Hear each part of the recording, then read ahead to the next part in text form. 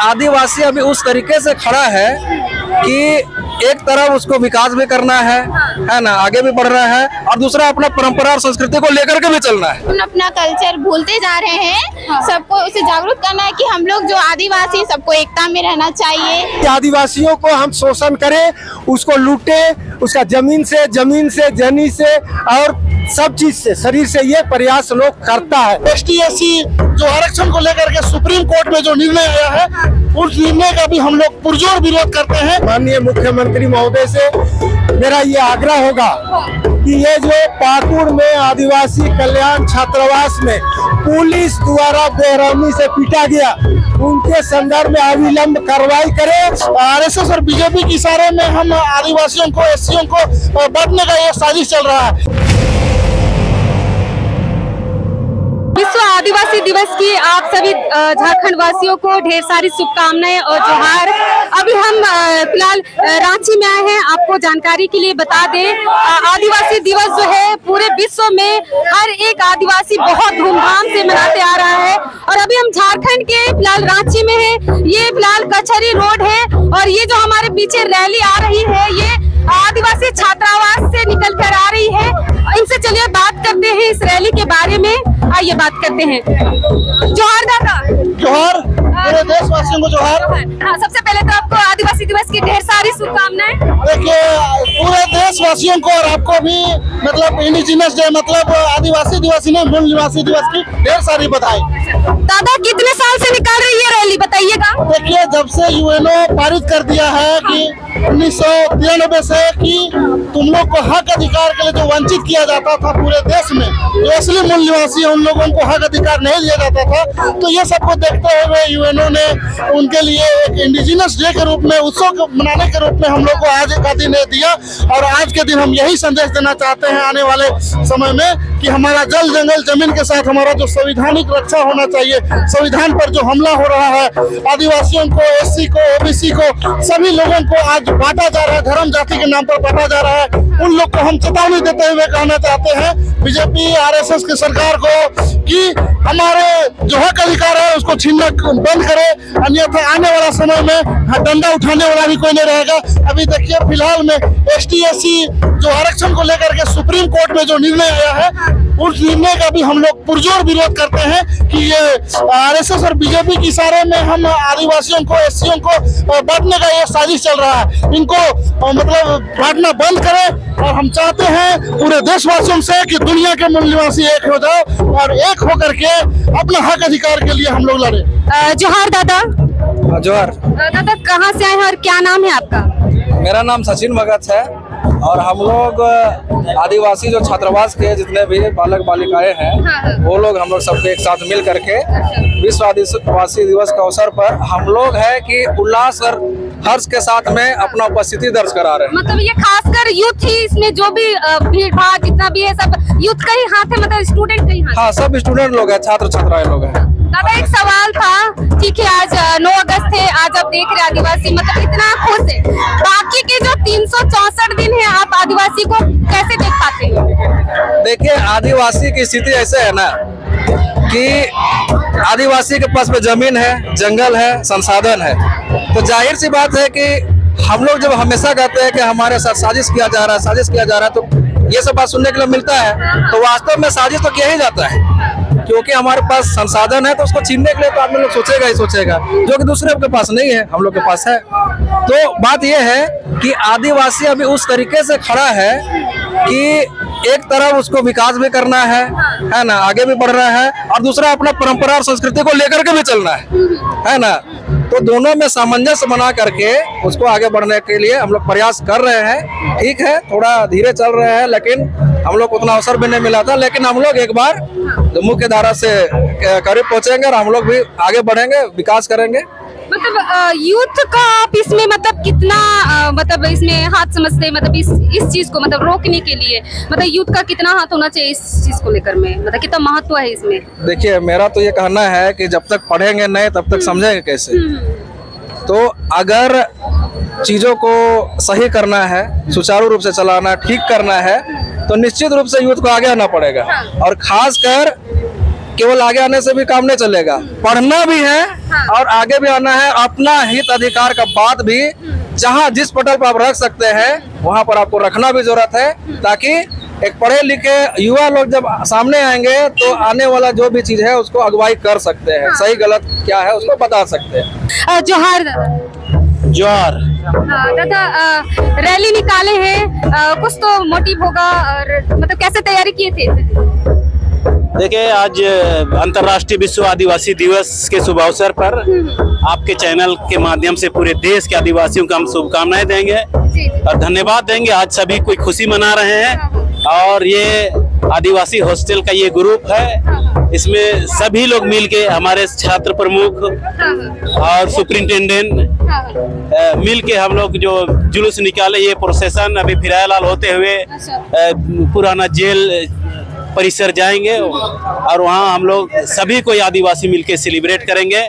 और हम सभी आदिवासी को यही मेरी तरफ़ से शुभकामना है कि आप सभी कोई खुशी मनाएँ। आज का दिन में सब अच्छी तरह से इंजॉय करें आपको जानकारी के लिए बता दें, कुछ दिनों पहले एक घटना घटी थी पाखुड़ में।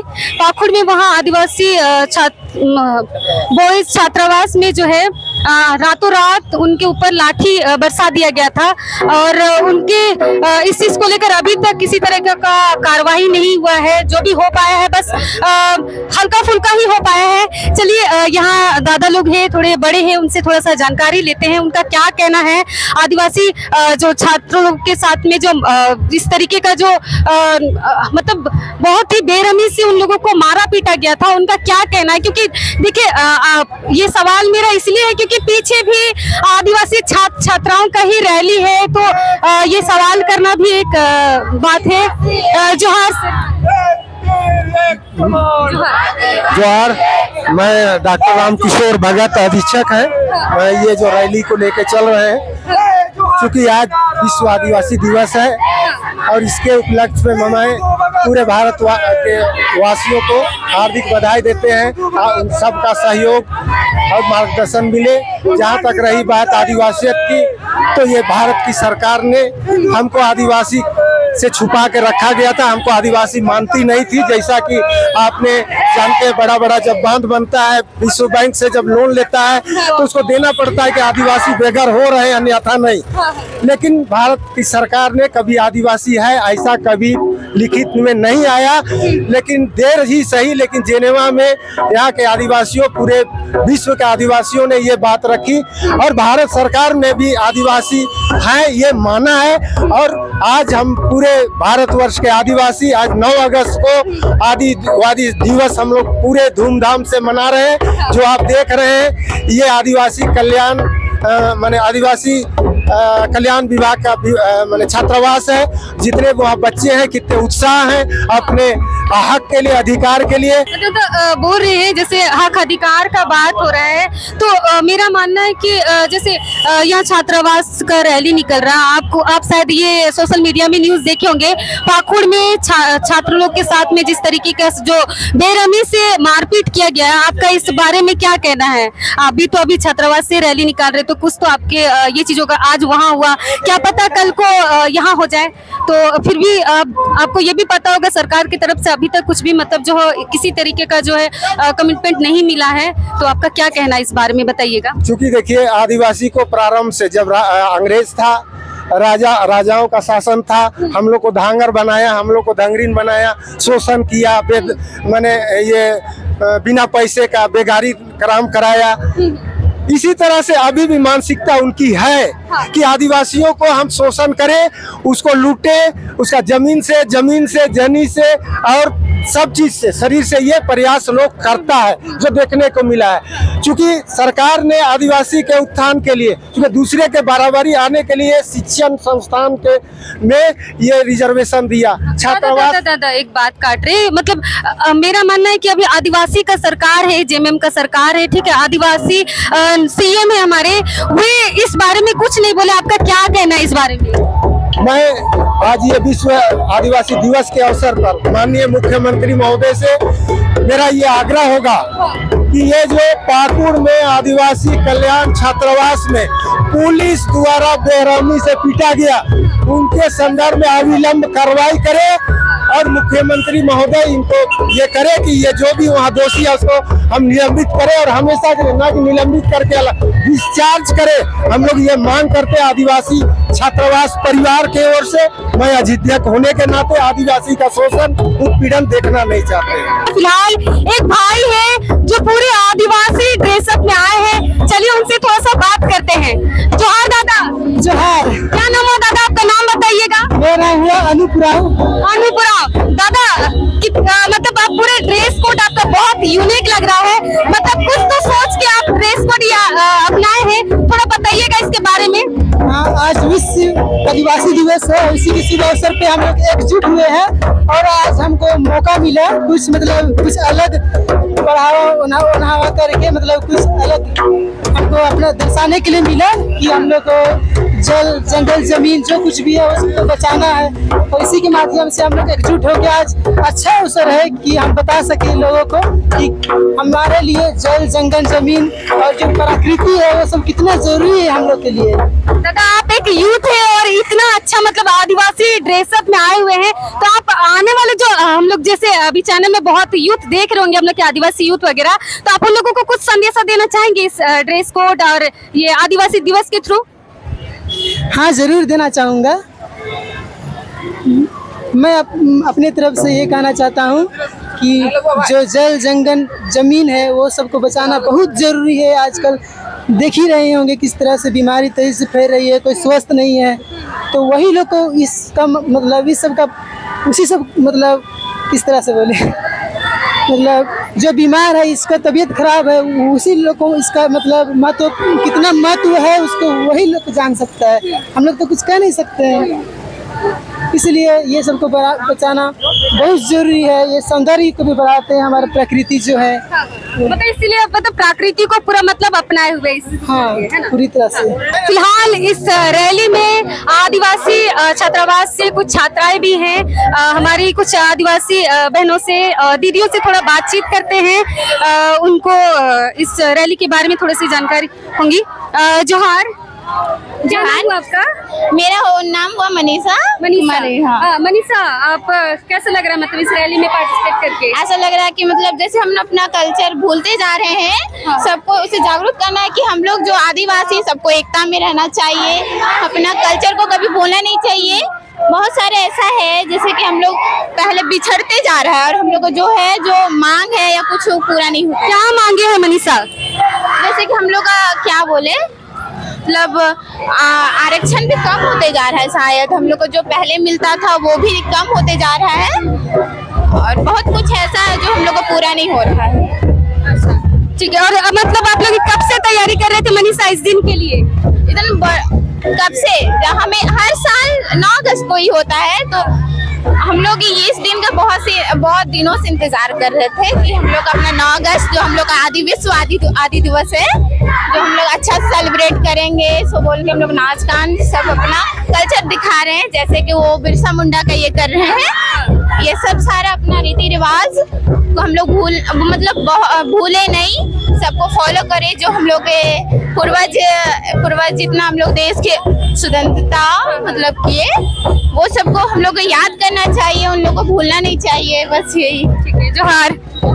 और भी दीदियों से बात करते हैं, फ़िलहाल, जोहार। जोहार क्या नाम हुआ आपका? मेरा नाम दुलारी उराव दीदी। दुलारी उराव। कैसा लग रहा है? हमको तो बहुत अच्छा लग रहा है दीदी। बहुत अच्छा लग रहा है। आपका ड्रेस भी बहुत अच्छा लग रहा है। है ना? हाँ दीदी हाँ। आ, कुछ दीदियाँ हैं कंटिन्यू बहुत लंबे समय से गाना गाते हुए इस रैली को आ, शान बढ़ा रही हैं और ऐसे भी आ, एक कथा है कि आदिवासियों का बोलना ही आ, गाना है और चलना ही उनका नृत्य है। चलिए दीदियों से बात करते हैं वो जो गाना गा रही है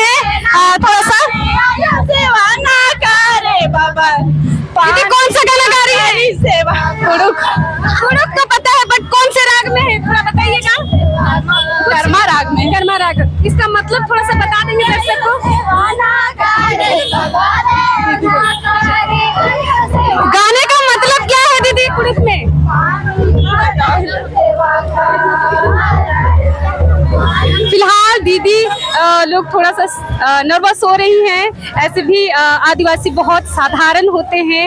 उन लोगों को ज़्यादा लोगों से बात करने का आदत नहीं है। फ़िलहाल बहुत सी ऐसी भी हैं जिन लोग खुल के बात कर रही हैं। हम आपको ऐसे ही धीरे धीरे सभी से बात बात करके सारी जानकारियाँ आपको शेयर करेंगे। तब तक के लिए वीडियो पे बने रहिए। जोहार।